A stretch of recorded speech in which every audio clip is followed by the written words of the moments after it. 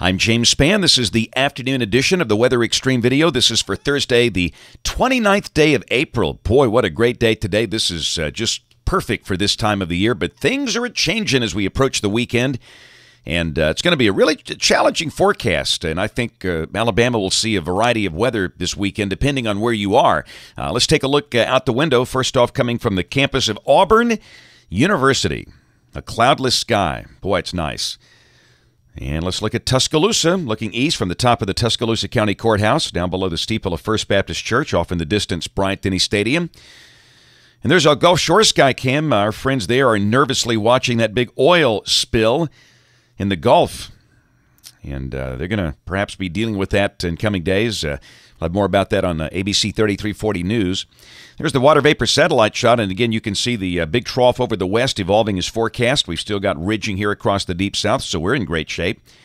But that big trough out west holds the key to our weekend weather. Temperatures, you know, it's about average for late April. I think the average high today is 77, and most folks will probably wind up hitting that before the day is over. Tuscaloosa at 78 now, Birmingham and Anniston at 75. And uh, the humidity is low, sky is blue, so nice. But things are changing. There's a look at our watch warning map. Look at all the wind advisories from Texas up into the uh, Midwest. Flash flood watches for places like Memphis, Little Rock, even one down around uh, uh, New Orleans. It's a coastal flood watch for uh, Louisiana and parts of coastal Mississippi.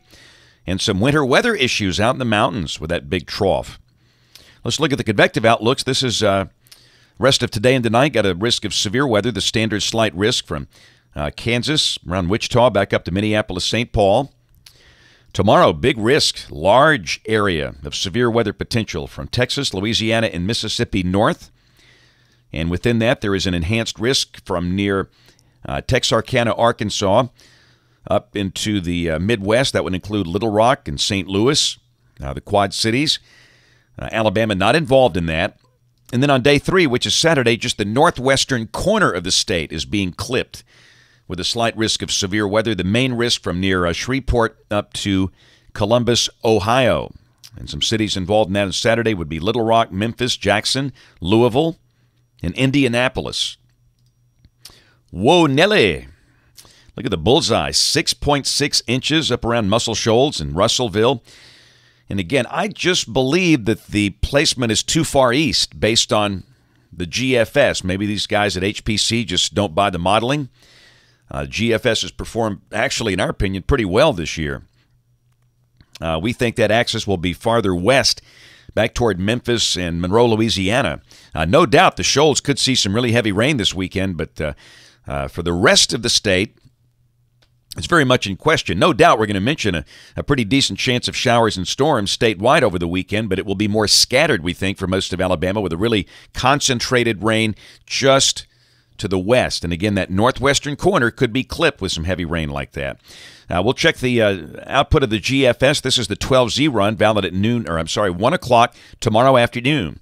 And this is at 500 millibars. There's the big trough out west. And around here, we should stay uh, dry tomorrow during the day. Uh, partly sunny, breezy, warm, mid 80s. And you can see the main convective opportunity is off to the west. Now, uh, some showers could creep in here tomorrow night. Uh, many of the uh, mesoscale models are suggesting that. We're going to mention that, but I think the day will be dry. All right, Saturday, let's start the weekend. And you can see the concentrated area the heavier rain should be uh, Little Rock, Memphis, and then up the Ohio River towards Cincinnati. And around here, no doubt, it will be humid and warm and breezy and showery with scattered showers and storms, but that really concentrated rain should be off to the west. Sunday, the trough just doesn't move. It's a battle between the trough to the west and the 588 ridge to the east.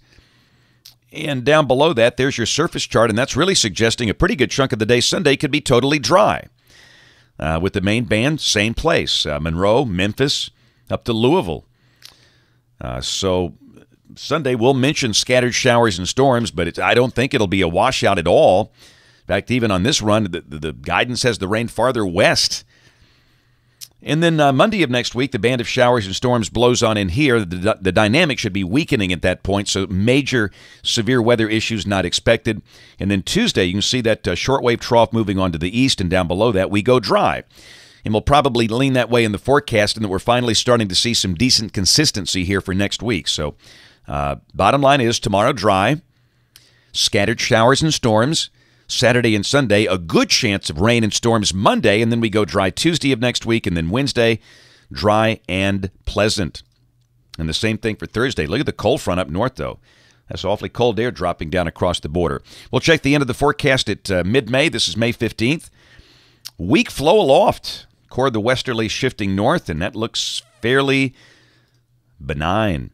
That's it for the Weather Xtreme video today. We'll have notes on the blog. The next video here by 7 o'clock tomorrow morning. And if you are local to us in Alabama, we invite you to watch us on television this evening. That's uh, ABC 3340 in Birmingham at 5, 6, and 10. Thanks for watching. Have a great evening, and God bless. Each day, there are new stories to tell about the people who live here and the place we call home. All of the